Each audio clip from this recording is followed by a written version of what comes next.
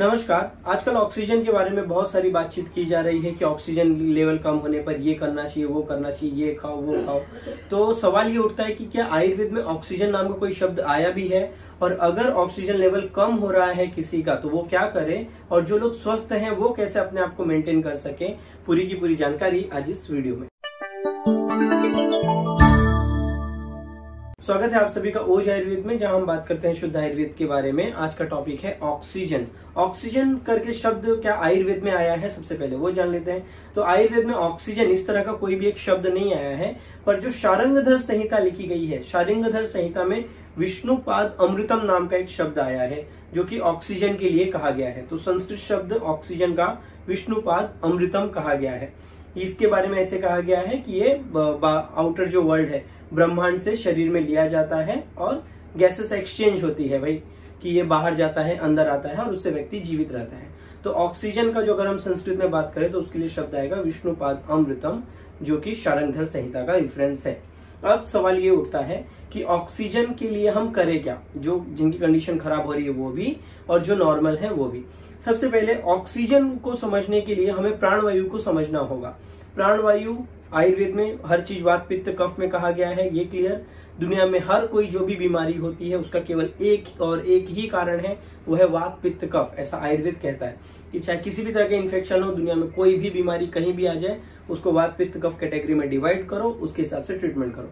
सो so, वात पित्त कफ में से वात के जो पाँच टाइप है प्राण उदान व्यान समान अपान ये पाँच उसके नाम है उसमें से जो पहली वायु है प्राण वायु वो डिसाइड करेगी आपका ऑक्सीजन लेवल करें तो अब ये प्राण वायु को हम कैसे अच्छा रखें प्राण वायु जितनी अच्छी रहेगी आपका ऑक्सीजन लेवल उतना अच्छा रहेगा हम नॉर्मल आम चाल, बोलचाल की भाषा में बोलते हैं कि प्राण उड़ गए, प्राण बच गए। मतलब आपकी लाइफ जो बचेगी वो प्राण वायु से बचने का काम होगा। अब प्राण वायु के ऊपर और डिटेल वीडियो में नेक्स्ट नेक्स्ट कभी लेकर आऊँगा। आज समझ लेते हैं पाँच से छह कारण है जिसके कारण प्राण वायु खराब होती है। पहले ये तो पता होना चाहिए खराब क्यों होती है, तभी अच्छी रख पाएँगे। तो पहला उन्होंने कारण कहा है रोक्षात रोक्षात मतलब एक्सेस ड्राइनेस जब भी बॉडी में बढ़ेगी, तब आपकी बॉडी के प्राणवायु खराब होगा। ये क्लियर में होता है। आपका जो प्राणवायु है, वो किससे बना है? तो पूरा जो आपका संसार है, वो पाँच महाभूत से बना है। आकाश, वायु, अग्नि, जल, पृथ्वी। तो इसमें से जो जल महाभूत है और वायु महाभूत है, ये दो का जो कॉम्बिनेशन होता है तो आपके शरीर में प्राण वायु बनती है। तो जब भी अब ये जो जल है, वो बैलेंस करने का काम करता है इस वायु को। क्योंकि वायु का विशेष गुण क्या है? हवा की मेन पावर क्या है? ड्राइनेस करना, सुखा देना, सूखा कर देना। ठीक है? सूखने के कारण ही फाइब्रोसिस ये सब जो होने लग जाते हैं और फिर वो ऑर्गन डैमेज होके खत्म हो जाता है। तो जो सुखाने की पावर है वो वायु के अंदर है, उसका ये जो जल है वो बैलेंस करता है। इसलिए जब भी आप ऑक्सीजन लेते हैं तो आप ऐसे नहीं कि गैस खोला, तुरंत नाक में घुसा लिया। उसके साथ एक वाटर के लिए एक छोटा सा आपने देखा होगा ऑक्सीजन जब आप लेते हैं, पानी में वो होकर आता है, क्योंकि आप डायरेक्ट ओ नहीं ले सकते। तो उसके साथ में वो पानी का छोटा सा कैन भी उसके साथ रखते हैं। इसलिए जल महाभूत और वायु महाभूत, ये दोनों का बैलेंस प्राण वायु है। जब भी जल महाभूत कम होगा और एक्स्ट्रा ड्राइनेस होगी, तब आपके जो लंग्स है, वो डैमेज होंगे, आपका जो हृदय है, वो डैमेज होगा और बाकी आपको तकलीफ़ होगी। तो ड्राइनेस से बॉडी को बचाओ। कैसे ड्राइनेस पैदा हो सकती है बॉडी में? कंटिन्यूअस एसी में बैठे रहना। क्या होती है? बॉडी ड्राई होती है कि गीली हो जाती है? तो आपने देखा होगा एसी में कंटिन्यू बैठेंगे, आप ऐसे अगर करेंगे तो आपको एक व्हाइट कलर की लेयर आती है। कंटिन्यू पंखे के नीचे बैठे रहना ड्राइनेस आएगी। रात रात जागते रहना ड्राइनेस पैदा करने का काम करेगा। तो ये सारी चीज़ें अवॉइड करो। या बॉडी के ऊपर कभी भी ऑयल न लगाना ऑयल से पाप लगना। ऐसे लगना कि नहीं ऑयल में छूँगा ही नहीं। ये सारी की सारी चीज़ें आपकी बॉडी में ड्राइनेस पैदा करेगी। नंबर एक, कारण रुक्ष चीज़ों से बचो, ऐसा उनका कहना है। नंबर दूसरी चीज़ जो आपकी प्राणवायु को खराब करती है, वो है व्यायाम। व्यायाम एक्सरसाइज से कैसे खराब हो सकता है? व्यायाम न करना और अति व्यायाम, ये दो के दोनों आपकी प्राण वायु के लिए अच्छे नहीं है। हम सभी जानते हैं कि सब चीज़ बैलेंस पे डिपेंड है।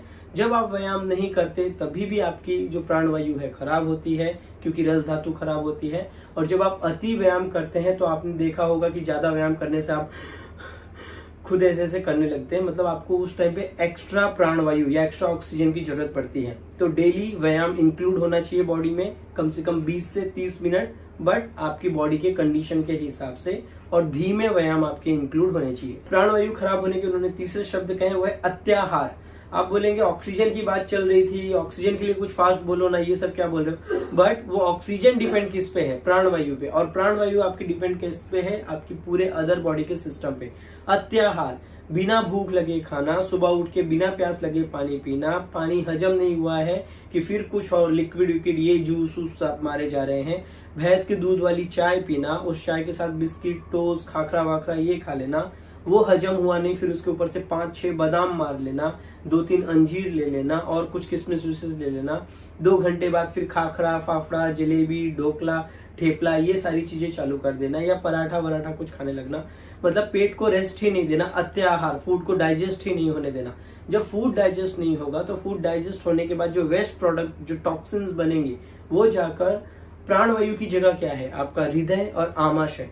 हृदय खराब हुआ, आमाशय खराब हुआ तो प्राणवायु गई।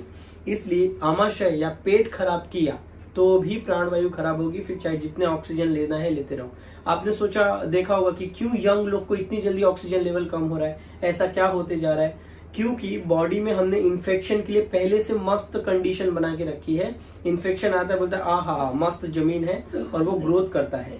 सो जिनका पेट ठीक है, भूख ठीक है, पेट साफ़ होता है दिन में अच्छे से डाइजेस्ट होता है और ऐसे लोगों को कोई तकलीफ़ नहीं हो रही है।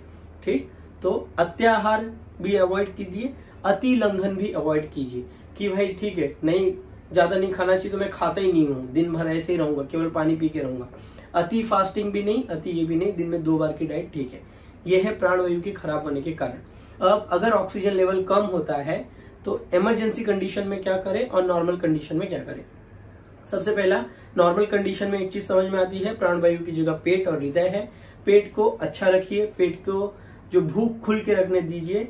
जीर्ण अश्नियात, ऐसे करके बहुत कमाल का शब्द है आयुर्वेद में कि जब भूख खुल के लगे, पहला खाना हजम हो गया हो तो ही दूसरा कुछ भी खाओ, चाहे वो ड्राई फ्रूट हो, बिस्किट हो, कुछ भी हो, चाहे हो पहला वाला हजम होने के बाद ही खाओ, जिसको कि हजम होने में चार से पाँच या छह घंटा लगेगा। अब सवाल ये उठता है, मुझे कैसे पता चलेगा कि मेरा खाना हजम हुआ है कि नहीं? पहला जो खाया हुआ खाना है, उसके खाने जब वो हजम हो जाएगा तो आपको ढकार आएगी, उसमें से कोई स्मेल नहीं होगी, बॉडी में हल्का पल्स लगेगा, थोड़ा एनर्जी लगेगा, पेट वेट साफ़ हो जाएगा, या खाना खाने की डिज़ायर पैदा होगी, नेचुरल डिज़ायर। ये नहीं समोसा, बटाटा, वड़ा, चिप्स विप्स देखा और डिज़ायर आ गई। नेचुरल डिज़ायर आएगी कुछ खाने की। उसका मतलब है आपका खाना हजम हो गया है, जिसको कि चार से छह घंटा लगता है। तो जीर्ण अश्निया पेट को अच्छा रखने के लिए जब भूख लगे तभी खुल के खाना खाओ। और क्या कर सकते हैं प्राणवायु को अच्छा रखने के लिए? जो लोग नॉर्मल लोग हैं वो, जिनको कोई अभी तकलीफ़ नहीं हो रही है। प्राणवायु के लिए एक विशेष शब्द आया है, जो कि श्वास रोग में भी बहुत उपयोगी होता है। उसके लिए एक शब्द है आक्तम लवण तैलानी मतलब जो नमक है, सेंधा नमक और तेल, ऐसी चीज़ यूज़ करो जो कि छोटे से छोटे सेल्स में भी जाकर वहाँ पे नरिशमेंट दे सके। और ये जो ड्राइनेस है, पहले ही बोला कि प्राणवायु खराब ड्राइनेस के कारण होती है, उससे बच सके। तो क्या करो कि ये तेल लो। तीन तरह के तेल हो सकते हैं। पहला, जिनको वात की तकलीफ़ है, बहुत ज़्यादा ड्राइनेस है बॉडी में। चार से छह चम्मच तिल का तेल लो, जिनको वात की तकलीफ़ है। उसमें दो चुटकी या एक चुटकी सेंधा नमक। सेंधा नमक डालो और उससे पूरे सीने पे अच्छे से जो आपके ये आगे का एरिया है चेस्ट का, यहाँ पे मालिश करो। कोई घर पे है तो उसको बोलो पीठ पे मालिश करने। और पेट का जो एरिया है, यहाँ पे ये ऐसे मालिश करो। तो चेस्ट हुआ, पेट हुआ और पीछे। ये तीन जगह मालिश करो। इससे क्या होगा, वहाँ पे जो कुछ भी एक्स्ट्रा ड्राइनेस है, वो चली जाएगी। और अगर कफ भी वहाँ पे अटका हुआ है तो वो बाहर निकलने में मदद होगा। ठीक है? ये करना है। ये वात वालों के लिए विशेष यूजफुल होगा। जिनको बहुत ज़्यादा कफ है, बहुत ज़्यादा सर्दी खांसी है, एकदम ब्लॉक रहता है, नाक वाक पूरी जाम रहती है, उनको क्या करना है कि वो सरसों का तेल लेंगे मस्टर्ड ऑयल लेंगे, उस मस्टर्ड ऑयल के अंदर सेंधा नमक डालेंगे और चेस्ट पे, सीने पे मालिश करके लेंगे। सेंधा नमक इसलिए डालेंगे कि सेंधा नमक क्या है, उसकी पेनिट्रेशन पावर बढ़ा देता है। वो सूक्ष्म है तो छोटे से छोटे सेल्स के अंदर जाने की पावर है तो वो तेल को अपने साथ में लेके जाएगा तो यहाँ पर मालिश कीजिए, ठीक? जो पित्त है, जिनको बहुत ज़्यादा गर्मी लगती है, वो क्या करें? अगर आपको पित्त है और श्वास की कोई तकलीफ़ नहीं तो आपको कुछ करने की ज़रूरत नहीं है, नमक वमक की ज़रूरत नहीं है। केवल नारियल का तेल लो और नारियल का तेल लेकर आप पूरी बॉडी पे मालिश कर सकते हो। जिनको गर्मी बहुत लगती है, पसीना बहुत आता है, उनके लिए ये सब ठीक रहेगा। चलो, ये हो गया प्राणवायु के लिए दूसरी टेक्निक तीसरी टेक्निक हम क्या कर सकते हैं? तो इसमें भी हम तीन कैटेगरी में डिवाइड करेंगे। अगर वात किसी को ज़्यादा है तो वात के कारण किसी को तकलीफ़ हो रही है। या सूखी खांसी वासी है तो उनके लिए जो यूजफुल दवा होगी, वो दो दवा होगी। एक शीतोपलादी चूर्ण और दूसरा यष्टि मधु या फिर मुलेठी। लेकरीज जिसे कहते हैं, गुजराती में ज्येष्ठ व्रत कहते हैं। तो यष्टि मधु मुलेठी जिसको हिंदी में बोला जाता है, वो यूजफुल है, जिनको बहुत ज़्यादा सूखापन है। उनको यष्टि मधु वन फोर चम्मच लेना चाहिए और वन फोर चम्मच उनको वो लेना चाहिए। उसके अंदर चाहिए तो एक चुटकी सेंधा नमक डालकर भी ले सकते हैं। ये बहुत अच्छे से सूखी खांसी कंट्रोल करेगा। या बना, बनाया जो मार्केट में शीतोपलादी चूर्ण मिलता है, वो एक से दो चुटकी, एक चुटकी ले सकते हो, अगर कोई तकलीफ़ ज़्यादा नहीं है, दिन में चार से छह बार। अगर बहुत ज़्यादा है तो दो या तीन चुटकी भी शहद में मिलाकर उसको चाटने के लिए ले सकते हो, ये वात वालों के लिए। पित्त वालों के लिए भी शीतोपलादी सेफ़ है, वो पित्त वाले भी ले सकते हैं। तो वात पित्त, ये दोनों प्रॉब्लम के लिए यष्टि मधु यूजफुल हो जाएगी। जिनको बहुत ज़्यादा एक्सेस कफ है, बहुत ज़्यादा ब्लॉकेज है काफ़ी कफ है, उनको शीतोपलादी और यष्टि मधु यूजफुल नहीं होगी, उनके लिए त्रिकटू नाम का पाउडर यूजफुल होगा। तो त्रिकटू नाम का सोठ मरीच पिपली ऐसे तीन चीज़ों से ये बनता है। सोठ काली मिर्च और पिपली से। तो इसको दो पिंच लेना है हनी में मिलाना है, खा के लेना है। हनी नहीं है तो गुड़ के साथ ले सकते हो। दिन में दो से तीन बार। तो जो एक्सेस आपके बॉडी में कफ है, वो कफ निकल जाएगा, ब्लॉकेज निकल जाएगा तो आपका ऑलरेडी जो ऑक्सीजन लेवल डाउन हो रहा है, वो, या जो प्राण वायु है, वो अच्छी हो जाएगी। अब आप उसे ऑक्सीजन बोलिए प्राण वायु बोलिए, वो दोनों सेम ही है। इतना क्लियर और इमरजेंसी में अब हम क्या कर सकते हैं? कि हमारे पास कोई भी हाँ और लास्ट नॉर्मल लोगों के लिए पेट ठीक रखिए। ये सबसे इंपॉर्टेंट चीज़ है, सुनने में लगेगा, क्या पुराने जमाने का बोल रहे हो? बट और नया करेंगे भी क्या? बॉडी तो वही है ना, जो आज से पाँच चार साल पहली थी। तो उस बॉडी को बचाने के लिए जो नियम बोले हैं फॉलो कीजिए। अब आते हैं जिनको इमरजेंसी वाली कंडीशन है।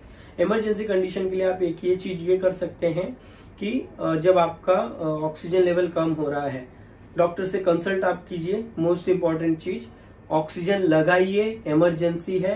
एटमोस्फियर में जो ऑक्सीजन है वो 30 परसेंट के आसपास या 21 परसेंट के आसपास है। बट जो आप नॉर्मल ऑक्सीजन लेते हैं वो 99 परसेंट से ज़्यादा है। तो क्योंकि एटमोस्फियर से आप डायरेक्ट आपकी बॉडी में ऑक्सीजन लेने में उतनी कैपेसिटी नहीं रह गई लंग्स की, इसलिए आपको ऑक्सीजन सिलेंडर लगता है। तो जिनका 90 के नीचे ऑक्सीजन लेवल है, उनके लिए यूजफुल रहेगा। 92 के ऊपर है तो आपको कोई कुछ करने की ज़रूरत नहीं है। इमरजेंसी कंडीशन में आयुर्वेद में जो गोल्ड प्रिपरेशन है, वो सबसे ज़्यादा यूजफुल रहेगी। जैसे कि मैंने मेरी फैमिली के मेंबर्स में या बहुत से पेशेंट में स्वर्ण माली वसंत जैसी जो औषधियाँ हैं, वो बहुत यूज़ की है। स्वर्ण वसंत मालती की जो टैबलेट्स आती हैं, वो एक टैबलेट शहद में घस के दिन में दो से तीन बार शीतोपलादी चूर्ण वन फोर चम्मच के साथ मिलाकर खाने के पहले या बार बार हर दस दस मिनट में थोड़ा चाटने के लिए तीन गोली तक दिन में दे सकते हैं। इसकी एग्जैक्ट मात्रा पेशेंट की कंडीशन पे डिपेंड करेगी तो जो आपके नजदीकी डॉक्टर हैं, उनको आयुर्वेदिक डॉक्टर हैं, उनको पूछ के आप ये कर सकते हैं। और जो जो बाकी जो गोल्ड प्रिपरेशन आयुर्वेद में बोले हैं, श्वास का चिंतामणि रस टाइप की चीज़ें हैं, वो ले सकते हैं। एक बहुत ही कमाल की चीज़ श्वास रोग में आएगी, वो है अभ्रक भस्म। अभ्रक के अब जितने भी नाम हैं, वो स्पेस पैदा करने वाले नाम है, गगन, ये सब ऐसे नाम दिए गए हैं।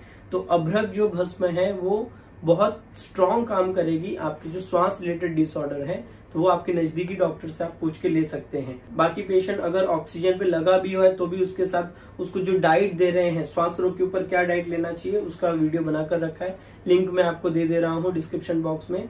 और कनका सौ जैसी जो चीज़ें मतलब आप आयुर्वेद सपोर्ट में उनके दे सकते हैं, जिससे कि उनकी लंग जो प्राण बचाने हैं ना पेशेंट के प्राण वायु को बचाना है तो गोल्ड प्रिपरेशन उस टाइम पे सबसे ज़्यादा ज़रूरी हो जाती है, वो उन्हें यूज़ करना चाहिए।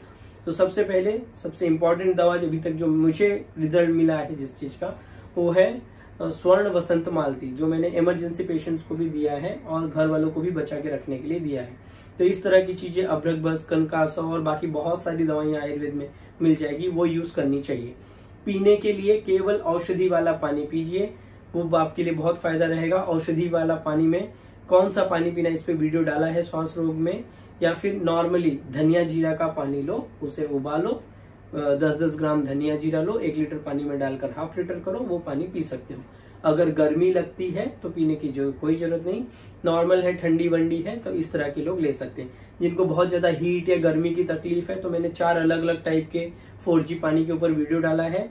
गर्म करके ठंडा किया हुआ जो पानी है, जिसको कि पका हुआ पानी कहते हैं, वो गर्म प्रकृति के लोग भी ले सकते हैं। बाकी जो ठंडे नेचर के लोग हैं, वो नॉर्मल ल्यू वाटर ले सकते हैं। उसमें डाल के बनाने के लिए धनिया जीरा का पानी बना सकते हैं, या सोंठ का पानी बना सकते हैं कि भाई आधा चम्मच सौंठ लिया, एक लीटर पानी में डालकर हाफ़ लीटर किया, वो पानी सिप सिप करके थोड़ी थोड़ी देर में पिया, या तुलसी का पानी पी सकते हैं, इस तरह की चीज़ें कर सकते हैं। क्या भाप की ज़रूरत होती है ऑक्सीजन में? अगर आपको बहुत ज़्यादा कफ है कंजेशन है, पूरा ब्लॉक हुआ है तो ही भाप इतना ज़रूरी है, उतना ज़्यादा नहीं। गर्मी वर्मी है, पित्त वित्त वाले हैं तो बिल्कुल नहीं। वात और कफ वाले जो लोग हैं, वो गुनगुने पानी से स्नान कर सकते हैं। और जिनको 92 के ऊपर है, उनको कुछ नहीं, जो नॉर्मल उपाय बोले हैं, वो किया तो मोर देन इनफ होगा। प्राणों के लिए एक विशेष शब्द सुश्रु संहिता में आया है, वो है प्राणायाम। क्योंकि प्राण वायु के लिए ही प्राणायाम बना हुआ है। तो प्राणायाम में जो डीप ब्रीथिंग एक्सरसाइजेस हैं वो आपको करना चाहिए, जैसे कि आप अनुलोम विलोम इस तरह के या लंबी श्वास लेना, छोड़ना ले सकते हैं, या फिर जो फुग्गे मिलते हैं बलून्स मिलते हैं फुलाने के लिए, उस तरह के बलून फुलाने वाले एक्सरसाइज भी कर सकते हैं तो उससे पता चलेगा कि आपकी लंग्स की कैपेसिटी कितनी अच्छी है। या 30 सेकेंड तक जब आप श्वास को छोड़ के श्वास को अंदर लेंगे और उसको पकड़ के रखेंगे। तो 30 सेकंड में आपको पता चलेगा कि आपकी लंग्स कैपेसिटी कितनी अच्छी है। इस तरह के उपाय आप कर सकते हैं। तो ऑक्सीजन के लिए आयुर्वेद में विष्णुपाद अमृतम ये तरह का शब्द आया है। और उसके लिए बाकी क्या लगाना नाक में कई लोग बोल रहे हैं नींबू का ये डाल वो डाल दो। आ, मैं एडवाइस नहीं करूँगा कोई ज़रूरत नहीं है वो सब करने की। जो प्राण वायु को नॉर्मल आपकी डाइट अच्छी रखिए व्यायाम अच्छे रखिए जो तीन चार चीज़ें बोली हैं वो फॉलो कीजिए। मोर देन इनफ है। सबसे सेफेस्ट कौन सी चीज़ इनमें से होगी? तो शीतोपलादी जो औषधि है, वो सबसे सेफेस्ट ऑलमोस्ट सभी के लिए यूजफुल हो जाएगी। स्वस्थ रहें, मस्त रहें।